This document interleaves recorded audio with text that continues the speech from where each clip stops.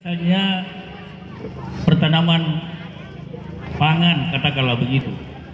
Kalau bibitnya tidak bagus, saya menganggap pesumaya. Ya.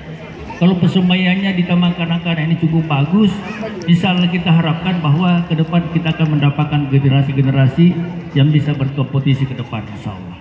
Yang luar biasa, sampai pemerintah misalnya mengklasifikasikan tumbuh kembang ini ada balita yang memerlukan proteksi dari pemerintah, memerlukan perlindungan dari pemerintah, memerlukan perhatian lagi bahwa ini pembibitan dan kalau pembibitannya bagus, bibitnya bagus, insya Allah akan bagus ke depan.